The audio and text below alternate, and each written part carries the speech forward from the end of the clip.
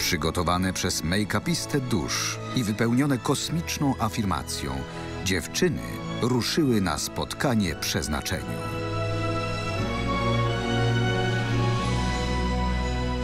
Tak nie wiedziałam za bardzo czego się spodziewać, przygotowywanie się i makijaż i w ogóle fajna sukienka i wszystko, także byłam zupełnie podekscytowana.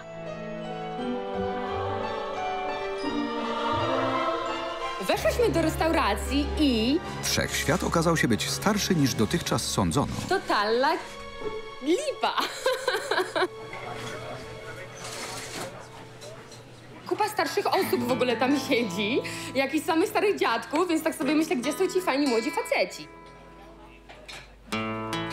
I kiedy wraz ze słońcem gasła również nadzieja, okazało się, że światło kosmosu łatwiej dostrzec w ciemności. Nagle pojawili się w końcu faceci, a właściwie jeden szczególnie, naprawdę fajny. No tak, mi się podobał, jej się podobał. Czasami po prostu mamy krasza na jednego faceta i wtedy musimy się dogadać, co z tym robimy.